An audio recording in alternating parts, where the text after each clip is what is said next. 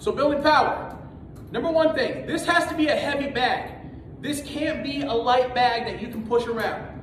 All right, so this bag I think weighs 200 pounds. This one's a little light. So you wanna get a good heavy bag in order to do this.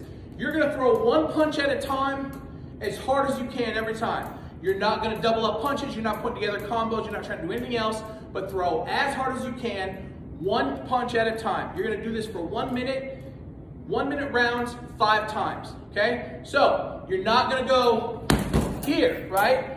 One at a time as hard as you can. Reset the bag. Okay? Mix them all, mix all the punches in. Do a straight.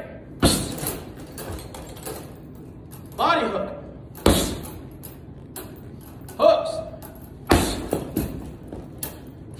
Overhand. Proper technique, proper form, but one at a time, every single time. This will really help build power, but again, remember, the bag has to be heavy. This is not a bag that you can just push over lightly. It will not work. Get a good heavy bag to do this.